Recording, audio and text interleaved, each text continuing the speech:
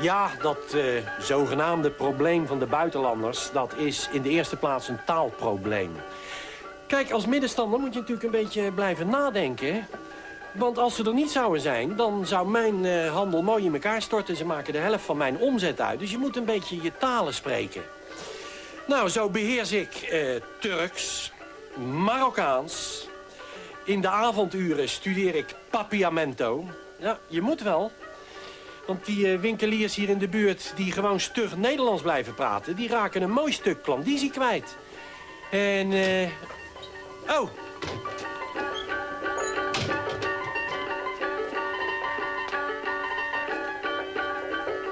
zo.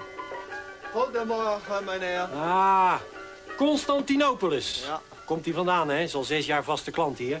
En eh, is, eh, is, is ze goed, hè, Hiro? Goed, eh, goed groente, Hiro.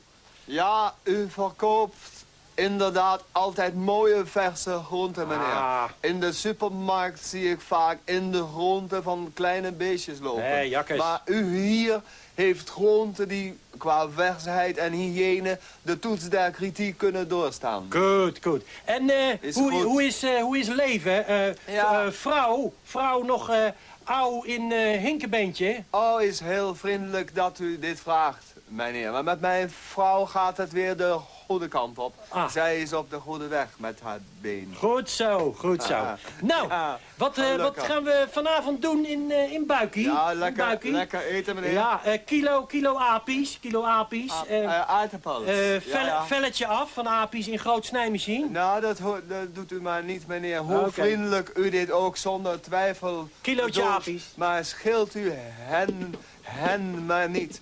Want ten eerste vind ik het voor de opvoeding van mijn kinderen belangrijk... dat zij leren hoe te helpen in het huishouden. En eh, geschild kost een kilo aardappels 30 cent meer... wat volkomen terecht is voor uw apparatuur. Maar als u bedenkt, meneer, dat ik per jaar misschien wel 100 kilo aardappels eet... dan kunt u nagaan als u dat Ja, oké, oké. Is ze goed, is 30. goed, is ze goed. Moeten allemaal op Ja, de kleintjes letten, meneer. Is ze goed? Voor hetzelfde gemak staat Ja. hier een uur te ratelen, want ze hebben de tijd, hè, die gasten. Ratelen, nou goed, ratelen, ja, ja, ja. kilo apies, niet blote apies. Nee, niet te blote Maar eh, alleen apies wel veel beetje weinig, hè? Ja, natuurlijk, meneer. Moet, Ja. moet ik meer bij hebben. Ja. Maar wij wilden vanavond met de hele gezin weer eens genieten van een echte maaltijd uit de specifieke Hollandse keuken... die wij zo hebben leren waarderen zolang wij nu hier wonen, meneer. Goed. Want wat zijn nou toch mogelijkheden in de Hollandse keuken, hè? Ha, lekkere de,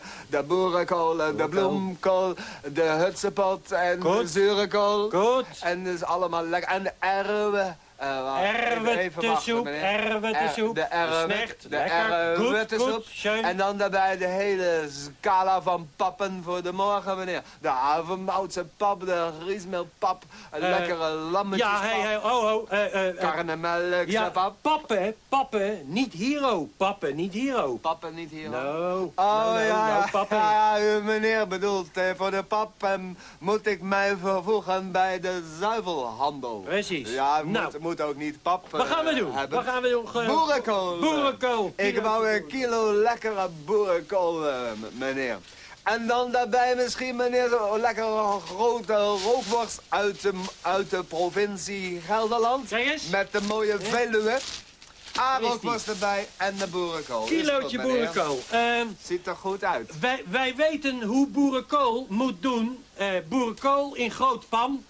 Ja, ja, ja, Ja. nat, uit kraan. Ja, ja. Groot pan op vlam. En dan eh kokie Ja, kokie. de bereidingswijze van de boerenkool is mij bekend. Goed meneer. zo. Dank Nou, u wel. eh. Eh, Ah, toetje, toetje, toetje. Oh, de, voor de dessert. Misschien een beetje fruit, meneer? Juist, gez- gezond voor rikketik. Een mooi appel. En is een mooie appel. Turks woord voor vitamine. Eh, Vitamine. kleine beestjes in, in vruchtbol. Kleine Eh, beestjes in een appel, meneer? eh, nou, go- goede kleine beestjes. Oh, ik, ik schrok mij rot. atomen, atomen, atomen voor, voor, Ja. voor sterkspier. God, meneer, doet u maar een pondje van, Pondje van appels. de appels. En mag ik vragen, meneer, heeft u misschien een, een momenteel zijn van die lekker kleine mandarijnetjes? Van die lekkere kleine sappige mandarijntjes?